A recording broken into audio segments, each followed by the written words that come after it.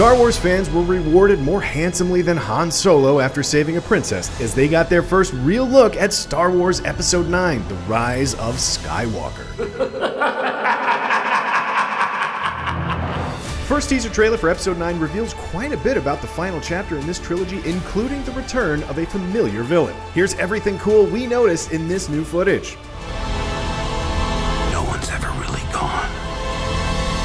Trailer opens with an extended shot of Rey on a desert planet getting ready to face down a TIE fighter. Maybe that's Kylo Ren piloting it, but that's not his specialized fighter. The shot reminds us a lot of the original Force Awakens teaser and how it opened with Finn on Jakku. It's possible Rey has returned to Jakku to bring her journey full circle. However, the planet's rocky terrain is different from the sandy dunes of Jakku, so it could be Tatooine or a brand new desert planet. A number of other shots in the trailer also appear to be taking place on this desert world as we see C-3PO, Finn, and Poe, and what appears to be a deadly speeder chase. We even see some sand skiffs reminiscent of the ones Jabba used in Return of the Jedi. Clearly, this planet is going to play a major role in the movie, and it may even serve as the site of the final battle between the Resistance and the First Order. We hear a new voiceover from Luke Skywalker in these early shots. We've passed on all we know. A thousand generations live in you now. Luke's Force Ghost seems to be communing with Rey, reflecting on how the Jedi of old have done everything they can to prepare her for the hardships to come, and officially passing the torch to the next generation of heroes. The fact that Luke says we in this voiceover could suggest that other Force Ghosts are present, like Yoda or maybe even Obi-Wan. We also see that Rey has rebuilt Luke's lightsaber after it was ripped in half in The Last Jedi. The trailer gives us quick glimpses of some original trilogy and sequel favorites like Lando piloting the Millennium Falcon and Rey hugging Leia. We know that Episode 9 will feature unused Leia footage, so this may be an alternate take of the similar hugging scene from the end of The Force Awakens. The shot shows off a new planet that features a large city built up in a steep rocky area. Here's Kylo Ren leading a First Order charge on a forested planet.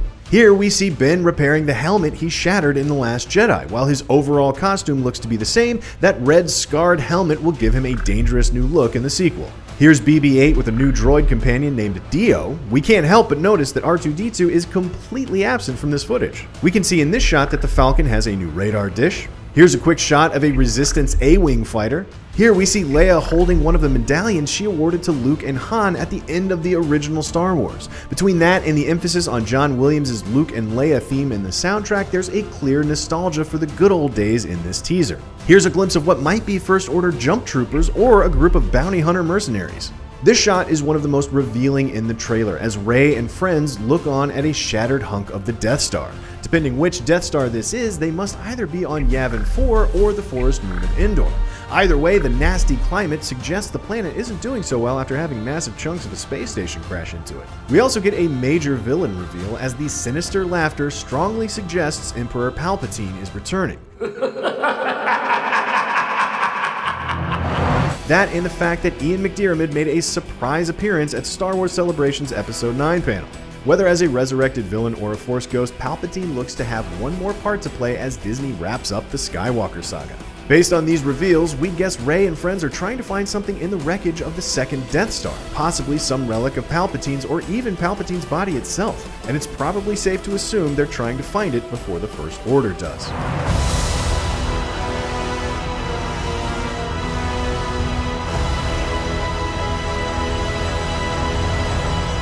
For more Star Wars goodness, check out our response to the trailer and fans reacting to the first look at the rise of Skywalker. And as always, be sure to subscribe to IGN wherever you like to watch.